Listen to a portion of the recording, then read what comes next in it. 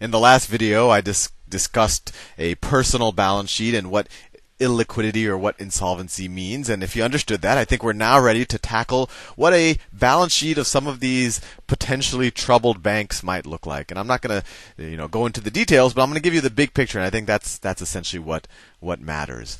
So essentially, these banks they have a bunch of assets and I'll, I'm, I'm going to talk about banks very generally right now, both commercial and investment banks. In a future video, I'll tell you the difference between the two and, and what regulation means and what leverage means and all of that. Maybe I'll touch on that in this video. But let's just kind of think about a generic balance sheet for a bank. So it's assets. So assets. So I don't know. I'm just going to make up some things. Um, let's say that it has, I don't know, one billion 1 billion in government bonds, US government bonds. I'm just throwing that in there just as kind of filler just to show you that there could be a lot of different types of assets in there. Let's say that they it has another I don't know, 10 billion in AAA corporate bonds. So, you know, these are these are loans to really solvent or or really um, high credit or very credit worthy companies. So AAA corporate bonds. So companies that have really good cash flows. Uh, there's very little chance of them defaulting on their on their uh, on their loans. So, and what is a bond? Well, a bond is just a loan to another entity, right? If if if uh, if you loan me money, I could give you an IOU right? Saying that Sal owes you whatever ten dollars, and that IOU you could call that a Sal bond. So you know, one billion dollars of government bonds. That's an asset that says the government owes me a billion dollars, and in the meantime, it's going to pay me interest. Similarly, corporate bonds. That's saying that you know these corporations, whoever these bonds are issued by, they owe me collectively $10 billion, and in the meantime, they're going to pay me interest. So that's all it is. And all an asset is, is something that has some future economic value. And that's what these are. These bonds have some future economic value. They have the value of the interest payments, plus eventually they're going to pay you the $10 billion back. Or maybe there's something less than that. So the 10 billion is the interest payments plus what they're going to pay you back, which might be, I don't know, 9.9 billion. I'm making up numbers. But that's not the issue here. What's the, the, the crux of the issue is that there's this stinky asset here. I, actually, let me let me let me let me draw a couple of more assets here, just to show you that this is the stinkiest of them all. So let's say I have a, another uh, another group of assets. I don't know. Let's say it's um, let's say it's uh, let's say I have a ten billion dollars of commercial mortgages. Commercial mortgages. So this is essentially I lent money to um, companies to you know buy land or develop land or buy buildings that they're going to go rent out to other people. So once again, it's just a loan to someone else, and a loan to someone else that I've given is an asset because they owe me interest, and eventually they're going to have to pay the money back to me. And then finally, I'm going to throw, and I'm not being comprehensive here. I'm going to throw uh, the the crux of the issue here. Let's say that I have two, let me see, I have 21 right now. Let me just make it an even number. Let's say that I have $4 billion, so it all adds up to 25. I have $4 billion in residential CDOs, co- collateralized debt obligations. Residential CDOs.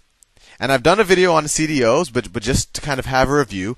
See, CDOs are a derivative instrument, and I know that sounds complicated, but that just means they're derived from another instrument, which probably, you know, that's that's a sign that the stink is starting to emerge from from from this part of the balance sheet. What does it mean derivative? Well, you take a bunch of mortgages, so I'll I'll just draw it down here. You take a bunch of mortgages, so you know these are house mortgages. Yeah, maybe you take a million of them. You group them all together, and you end up with a mortgage-backed security mortgage-backed security. All a mortgage-backed security is is a loan to a ton of a, a, a, big group of people, and you put them all together so that you can kind of you know be able to to statistically give it properties. Because if you lend to any one person, that's hard to trade. But if you lend to a bunch of people, you can it starts to become something that you could trade with other people because they can understand it. And uh, you know, in aggregate, you can say, oh, eight percent of the people are going to default and all of that. But anyway, that this isn't the crux of it either. I have a whole video on mortgage-backed securities. CDOs, collateralized debt obligations, are derived from mortgage backed securities, and that's why they are called derivative instruments. What CDOs are, you take these mortgage backed securities, you know, that they're loans to some people in some region of the country, or maybe they're, they're diversified across regions, and you slice and dice them. So, what you do is, you slice them into tranches, and I go into a lot more detail on this in the other videos, right? And you say, this group of the CDOs, they'll get the first payments, or if, if any payments that go immediately go to this very senior tranche, right? And then the next payments go to this one, and then this top tranche, you could call it the most junior tranche, it's sometimes called the equity tranche. This tranche, they're going to get whatever's left over. So if everyone pays, they get made whole, but if a lot of people default, all the defaults are going to hit this tranche right? And to kind of make up the fact that this is the riskiest tranche, or essentially these people are taking on all of the risk, and uh, or essentially these tranches are giving all of the risk to this tranche. And a tranche is just a layer, it's just a slice, okay? I, I don't want to use too fancy words. But in return for taking on all of the risk, this person is going to get a higher yield. So, you know, while this person might be getting 6%, this person might be getting 7% on their money, maybe this person gets 12% on their money. And this is another interesting thing because this person is the most secure, the ratings agency, which I'll probably do a whole another series of videos on, they might give it a like I don't know a triple A rating, and maybe they give this tranche. I am making up things, but maybe they give it a double A rating. But this equity tranche, it'll get a junkier rating, and because it's a junkier rating, no one is going to want to buy it. So the person who constructed this whole uh, collateralized debt obligation and who were sold these tranches to the to the public markets. And this process, by the way, is called securitization because you're creating securities out of these assets that you sell to everyone, maybe the Chinese or, or whoever sovereign wealth funds. But people only want to buy these tranches. So the banks have to figure out what to do with this tranche, which is the stinky equity tranche. So most of them just kept it on their balance sheet. They said, "Oh, it looks like housing never goes down. We get a really high yield on this, so we are going to keep this tranche for ourselves." And that's what these residential CDOs are that are that are the crux of the issue. But anyway, that was just an aside. And so I, I wanted to show you this because these aren't just any residential CDOs. These aren't the AAA's. These they, they might be some of them, but just for the sake of our argument, let's say that these are junky ones or smelly smelly. So anyway, that's my example bank asset, the asset side of its balance sheet. Let's let's think about its liabilities. So liabilities. Liabilities.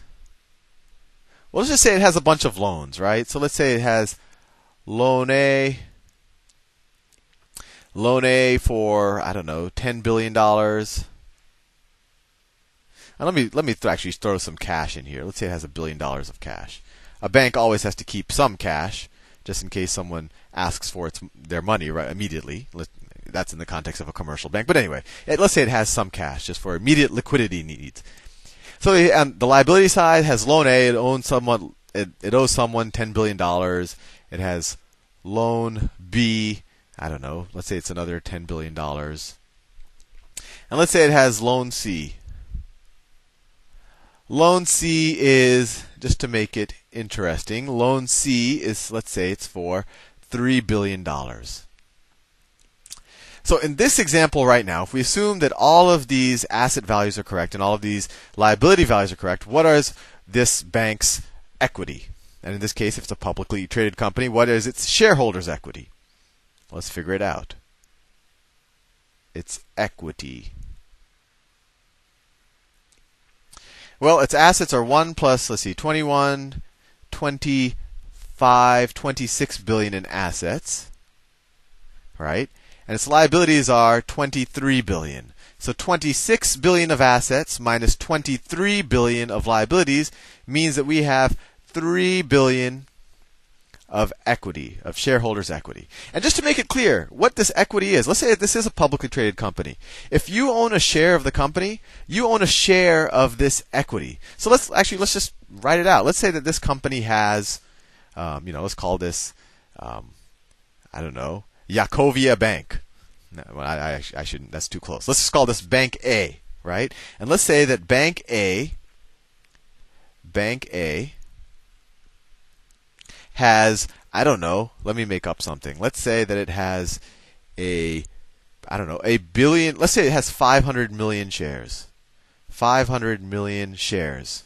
Right? If you go into Yahoo Finance, you said how many shares are outstanding? It has 500 million shares. So each share price or the book value of each share price essentially should be this $3 billion of equity based on the balance sheet. And that's why they call it book equity because the balance sheet, it's often called the, the company's books. So it's this $3 billion of equity divided by the, sh- the number of shares. So each share should be worth, let's see, 3 billion divided by 500 million. It should be $6 of book equity, book equity, equity per share. And that's something important to realize because a lot of people think that you know if a stock price goes to zero that you know that means that you're getting the company for nothing. No, that's not true. That just means that the equity is worth zero. And I just realized that I'm out of time. I'm going to continue this in the next video and, and we'll explore this a little bit more. See you soon.